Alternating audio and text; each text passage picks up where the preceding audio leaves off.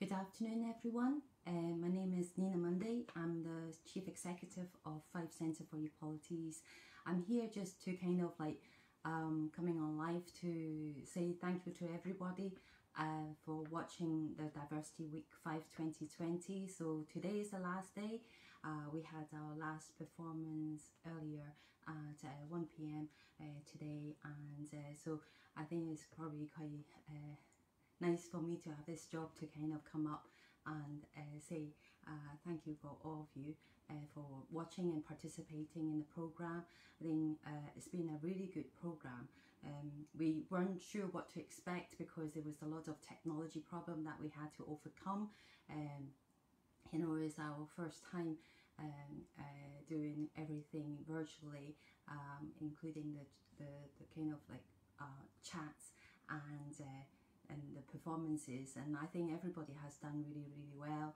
Uh, there's been a, uh, a, quite a lot of people in the background uh, working uh, non-stop uh, you know in terms of editing the videos afterwards. So um, it's been really great uh, from my perspective in terms of what the team has produced during the lockdown. And if my cat appear in the video hello don't know whether you can see her. I think um, this is my cat. Uh, she's the younger one. She used to be quite. She usually is quite shy, and um, if uh, if any of you would be in the living room with me just now, uh, she would have disappeared. But um, she decided that she wanted to come on Facebook to say hello too. Uh, okay. Anyway, so so on Monday uh, this week, um, you you met our team. Uh, so uh, meet the FCE team, and I think that's probably the first technology problem that we had. Um, I think uh, sometimes uh, you don't realize how would, it would come across when we're doing like uh, a live interview over a Facebook and uh, using another program to stream. Uh, fortunately, uh, we were able to um, do another take of that session, meet the FCE team. Uh, and and then in the afternoon we had uh, ginger fruits so thank you very much uh, for being our very first uh, performance act. And then on tuesday we had two groups both of them community pantries. I think uh, i think it was really quite um, enlightening to to kind of learn how groups have um, um, done their best to um, meet the needs of people uh, during during the lockdown during the crisis because I think when the lockdown was announced, uh, nobody knows how to support people, uh, to especially those ones that were really vulnerable and uh, in need of a lot of support. And and I think it's quite good to see so many pantries um, and community groups set up in Fife that uh, specifically wanting to uh, make sure that the um, you know every family who needs food was able to access uh, appropriate food and then on the Tuesday uh, afternoon, we had our Sandy Brechin, that coordinist, uh, uh, with his dog. Uh, yeah, he's, he's very funny. And uh, so even though he kept saying that he's, he's not from Fife, but uh, he wanted to be a Fifer. So we're glad that he was able to participate from in the other way in Edinburgh.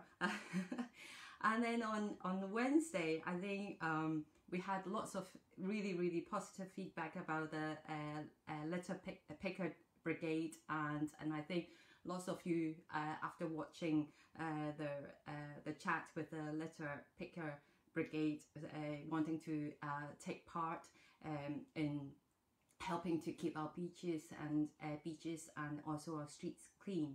And then in the afternoon, uh, Wednesday was a busy day because uh, in the afternoon we also had uh, Bragg Enterprises uh, talking about how not uh, how they support a, a variety of groups uh, as well as an enterprise. in the afternoon, we had Jackson. I think that Jackson's performance probably was the most watched. Um, uh, live performance of the whole week. So uh, well done, uh, Jackson. I, I think last time I looked, he had his video had over 2,000 viewing. So uh, for a small organization like us, uh, Fife Centre for Equalities, who deliver the Diversity week Fife uh, on an annual basis.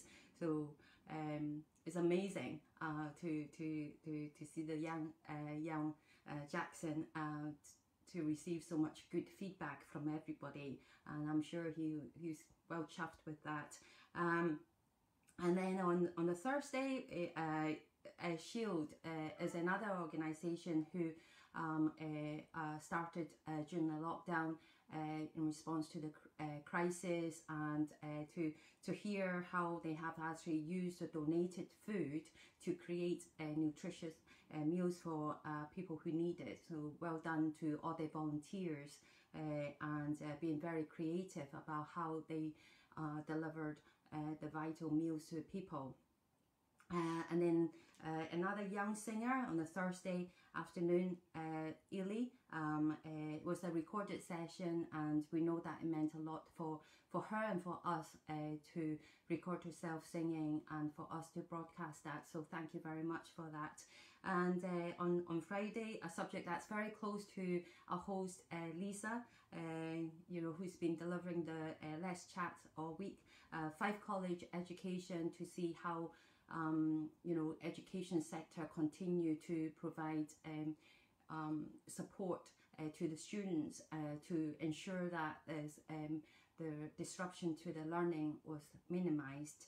Um, and in the uh, in the Friday afternoon, uh, uh, we had a, a, a very kind of uh, popular uh, local uh, pipe, uh, bagpiper, uh, Dean Saunders. Um, so I'm sure many of you watched that, and I actually really quite enjoyed it on the Friday afternoon. I thought really lift uh, lift my spirit up uh, and got- got me finishing all the board papers that I had to had to finish uh, ahead of my board meeting next week. So thank you very much, Dean, um, um, for the uplifting music.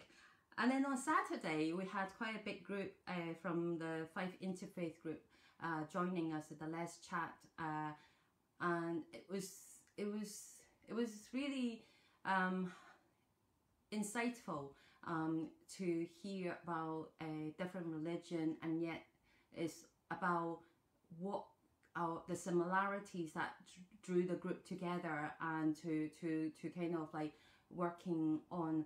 Um, supporting uh, different individuals even across different faiths and uh, and I think sometimes you know we do forget that we have more in common than uh, you know the differences between us and I think the the, the chat uh, of the faith interfaith group uh, certainly demonstrated that and uh, and now on Saturday afternoon uh, we had uh, Nat B uh, who's part of the decanted uh, was uh, it was a very happy session, and uh, both of them um, uh, performed really well uh, on Saturday afternoon. And again, um, I think the weather wasn't so good yesterday afternoon, but then it certainly brightened up uh, with the uh, you know with their performance. And today, um, I mean, Demi has performed uh, performed for us a, a number of times before in the Fife Women's Tent and also Diversity Week Fife. So we were so happy for her to end the whole week for us um, on a really such a positive note. I mean, Demi, I mean, most of you probably would know that uh, she is a nurse and she has been uh, working um, throughout the lockdown, uh, supporting people as well as uh, performing uh, live uh, from her own living room uh, to to just to make all of us happy, continue to be happy. So thank you very much for that, Demi. Um, and I think have, having uh, thanked all the groups and the performers, I probably should have thanked uh, our two key staff, Elric uh, Honore and uh, uh, Lisa um, McDonald. Uh, they've both done really well. I mean, Lisa, for her to kind of take on the challenge to host all the Let's Chats, um, you've done amazing, and I've seen your confidence growing every day as um, as your line manager. I'm really really delighted uh, to see that, and thank you for taking on the challenge for pulling the program together, contacting the groups, and then.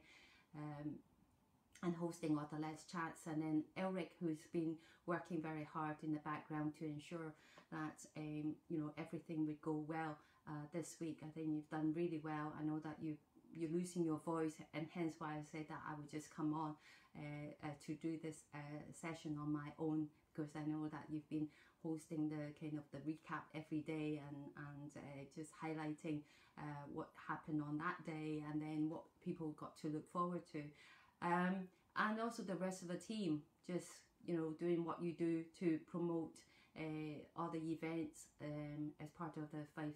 Um, Diversity Week Fife program and uh, and also just not just to promote but also just to make sure that the whole week um, went really smoothly so well done all of you and well done for also promoting uh, the work of Fife Centre for Equalities. And for all of you who participated uh, throughout this week thank you.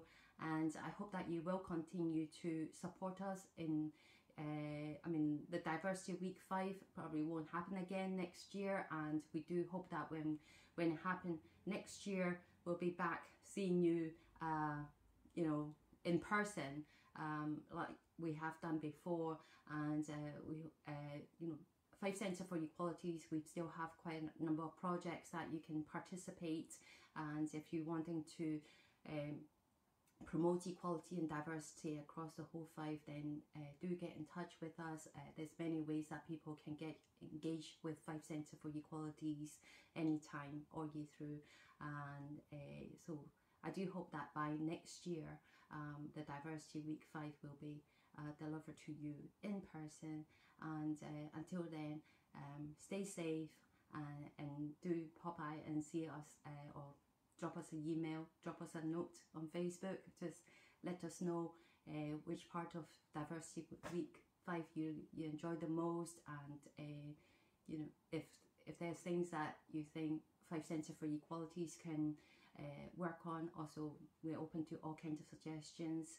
Um, okay, thank you very much and I'll see you again soon. Bye.